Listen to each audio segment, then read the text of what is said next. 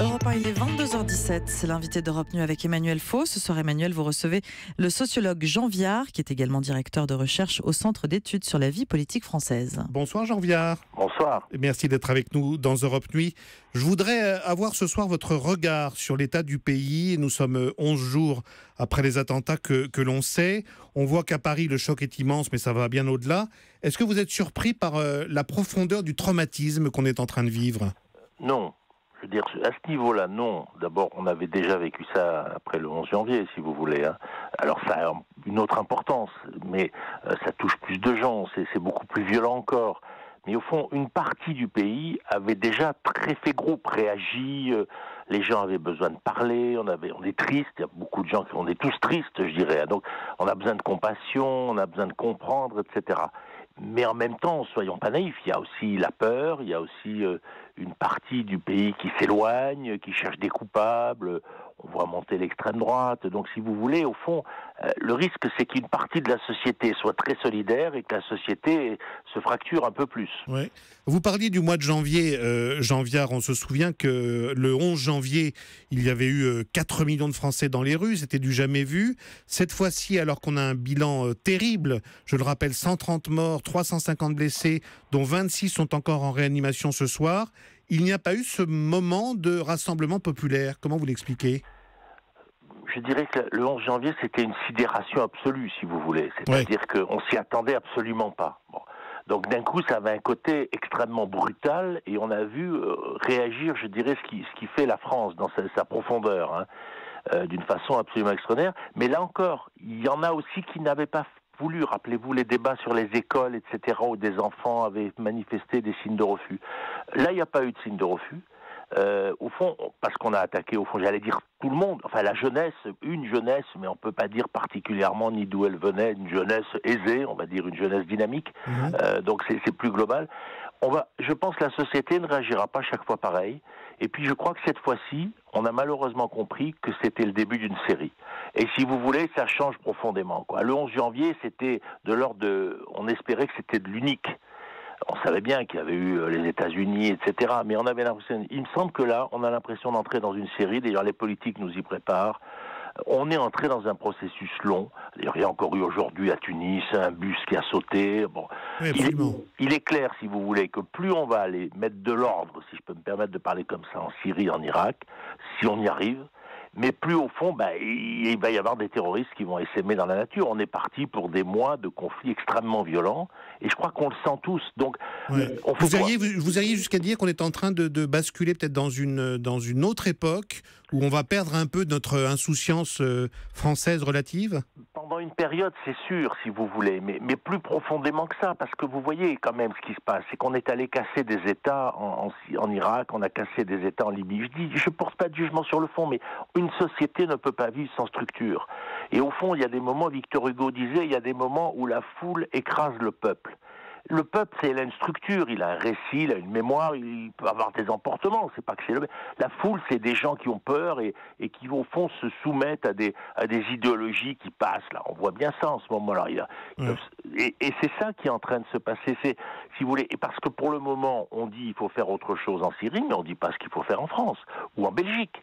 Euh, Molenbeek, ce quartier, qu'est-ce qu'on va faire pour que la vie commune en Belgique marche mieux? Qu'est-ce qu'on va faire chez nous? Bien sûr que la plupart des gens se sont pacifiques, la plupart des jeunes de banlieue sont sympathiques et tout, bien sûr, mais il y a du terreau, comme il y a, si vous voulez, il y a des endroits qui portent cette idéologie, disons, fasciste, on peut dire ce qu'on veut, on peut dire qu'elle est religieuse, mais elle n'est pas religieuse, c'est un désir de mort, c'est un désir de haine qui traverse les sociétés, on a connu ça à d'autres époques, et qu'est-ce qu'on a à répondre dans nos sociétés?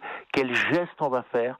Comment on fait à l'intérieur de l'Union européenne, on va se dire, attendez, il faut qu'on ait un projet commun culturel, de vivre ensemble. Et là, on n'y est pas. Je vais vous poser une question qui va peut-être vous, vous surprendre. Est-ce qu'on est vraiment dans un climat d'unité nationale? Alors, je ne parle pas des politiques, mais je parle des citoyens, parce qu'on entend les psychologues qui nous expliquent depuis plusieurs jours que chacun réagit aux événements en fonction de sa sensibilité.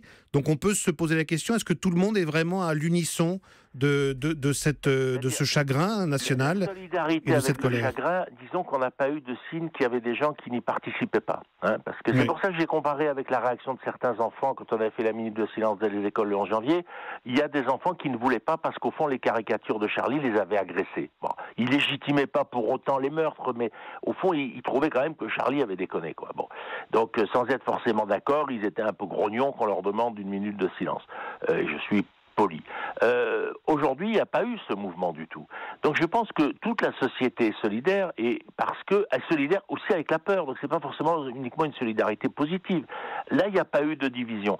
Mais il va y en avoir parce qu'il y a des gens qui vont dire, mais attendez, il faut fermer les frontières, il faut fermer le pays, ils vont regarder les immigrés de travers. On voit très bien ce qui va se passer. Des, sujets, des sujets qui commencent à surgir dans le débat d'ailleurs.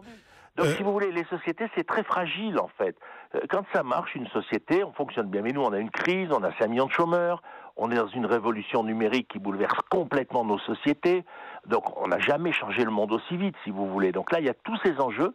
Et donc, au fond, je dirais, la mutation technologique qu'on a vécue, elle est en train d'atteindre la sphère du politique. Et c'est très compliqué à maîtriser.